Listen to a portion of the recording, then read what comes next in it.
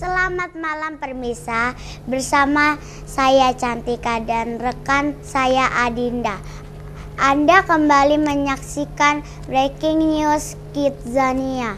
Bre berita pertama akan dibawakan rekan Adinda.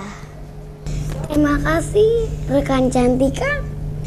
Pemirsa, mobil produksi Honda seri terbaru sudah hadir di dealer resmi Kidzania. Divisi marketing car mengatakan varian baru Honda ini memenuhi kebutuhan penggemar mobil bertenaga kuat namun tetap nyaman dikendarai saat ini. Car dealer membutuhkan tenaga sales yang akan digaji sebesar 10 kitsos.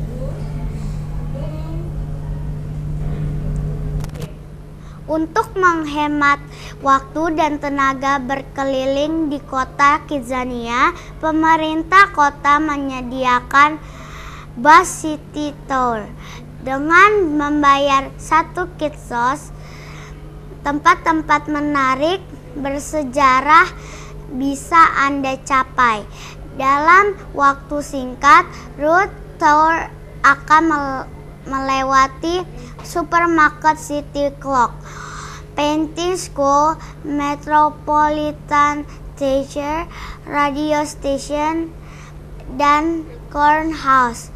Bagi Anda yang berminat, silakan menunggu di health terdekat.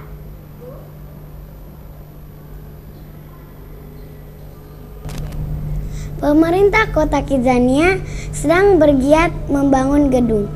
Diharapkan ke kekurangan area perkantoran dan perumahan bisa terselesaikan dalam waktu dekat. Untuk mempercepat penyelesaiannya, tata tata kota sangat membutuhkan tenaga konstruksi. Tenaga para pekerja tersebut akan dibayar sebesar 10 kitsos. Selanjutnya kita beralih ke laporan cuaca yang akan dibawakan rekan Gebi. Silakan rekan Gebi. Terima kasih rekan Cantika dan Adinda. Selamat malam permisa. Saya akan menyampaikan laporan cuaca untuk esok hari. Kita mulai dari kota Jakarta.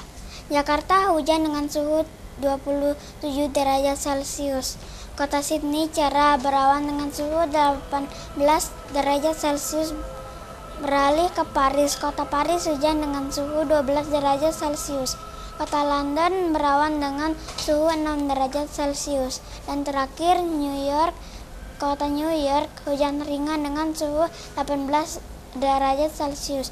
Demikian laporan cuaca kali ini. Kita kembali ke rekan Cantika dan Andinda.